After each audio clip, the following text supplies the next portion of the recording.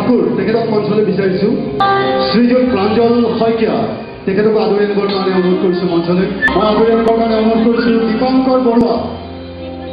মঞ্চলৈ আহিবলৈ অনুৰোধ কৰিছোঁ দীপংকৰ বৰুৱা। এয়া মঞ্চত উপস্থিত, ক্ৰমে প্ৰাঞ্জল শইকীয়া শান্তনু ঠাকুৰ তমনাৰ চৌধুৰী আৰু সুমন কল্যাণ দত্ত। তেখেতকো মঞ্চলৈ আহিবৰ কাৰণে অনুৰোধ কৰিছোঁ। আপোনালোকে হয়তো ভাবিছে এই এইখেতসকলে কি করি? তেখেতসকলে কি কৰিব কিন্তু মই তেখেতসকলক অনুৰোধ কৰিম এয়া আপোনালোকৰ ইচ্ছামতে আশ্বাস কৰি দিয়ক।